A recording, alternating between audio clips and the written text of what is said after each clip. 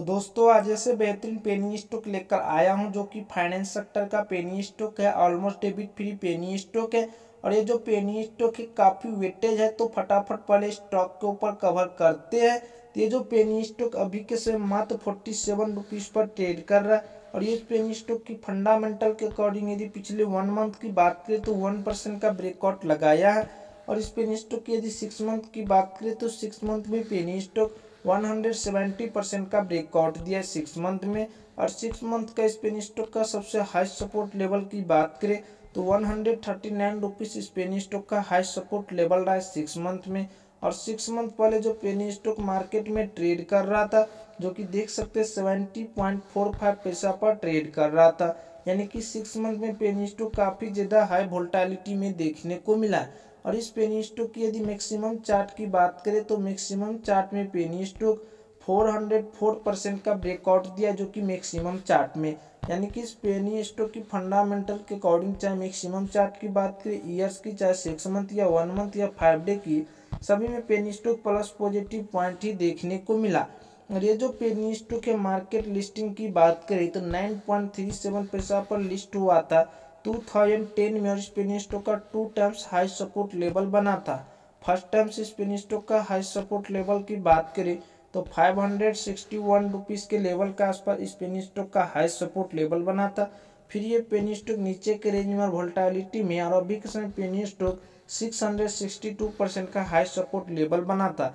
यानी कि high support level के बाद ये पेनी स्टॉक नीचे के रेंज में और अभी के समय बात करते हैं पेनी स्टॉक देख सकते हो वोल्टालिटी में चलन का अपर सर्किट वोल्टालिटी में देखने को मिला। और ये जो पेनी स्टॉक है, आज के दिनों में मार्केट ओपन इंडिया की बात करें तो 48.05 पैसा पर मार्केट ओपन हुआ था। हाई की बात करें तो 48.45 पैसा लो की बात करें 46.80 है। मार्केट कैप यहाँ पर कुछ भी नहीं दिया। वहीं पर इस पेनी स्टॉक की बावन की हाई सीडीपी स्कोर की बात करें 1.46.20 हाई सीडीपी है और लो सीडीपी की बात करें 4.81 इस पेनी स्टॉक की लो सीडीपी है।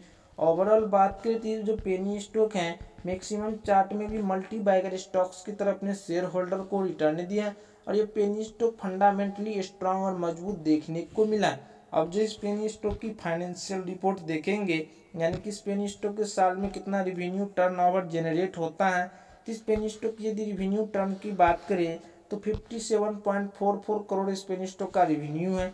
नेट इनकम की बात करें 52.83 करोड़ है।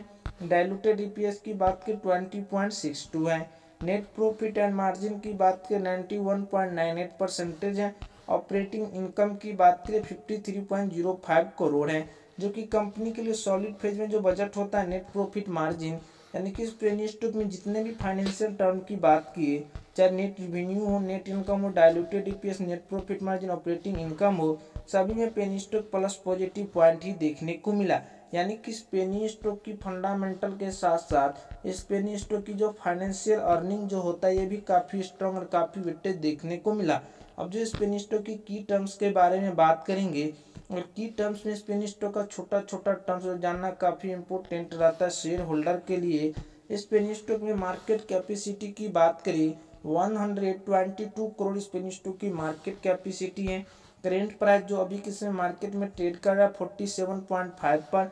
बावन वीक की हाई की बात करें वन हंड्रेड फोर्टी सिक्स और लो की बात करें फोर पॉइंट एट वन है।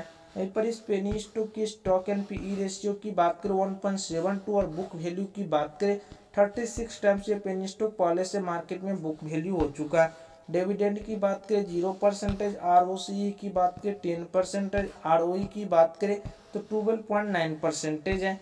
और इस पेनी स्टॉक का जो फेस वैल्यू दस रुपये यानी कि इस पेनी स्टॉक में भी जितने की टर्म्स की बात की, सभी टर्म्स में प्लस पॉजिटिव पॉइंट में ही देखने को मिला। अब जो स्पेन स्टॉक की छोटा टर्म्स, यानी कि स्पेन स्टॉक के ऊपर डेबिट हाई यानी कंपनी जो ऑलमोस्ट डेबिट फ्री यानी कि स्पेन स्टॉक ऊपर ज़ीरो रुपया भी डेबिट ने यानी कि स्पेन स्टॉक पर न किसी का प्रेशर न किसी का दबाव है कंपनी स्वतंत्र है। यानी कि स्पेन स्टॉक में जो इन्वेस्टर पहले से बाय किया है, या अभी भी बाय करेगा, उसको अच्छा से अच्छा रिटर्न ही मिलेगा। अब जो स्पेन स्टॉक का जो नाम है, मैं आपको नाम दिखा देता हूँ। बनस फाइनेंस लिमिटेड जो कि काफ़ी वेटेज और दिग्गज कंपनी है। आप 20 से 30 क्वांटिटी भी स्पेन स्टॉक में होल्ड करते हैं। हंड्रेड परसेंट श्योर कि आपको अच्छा से अच्छा रिटर्न देखने को मिल सकता है।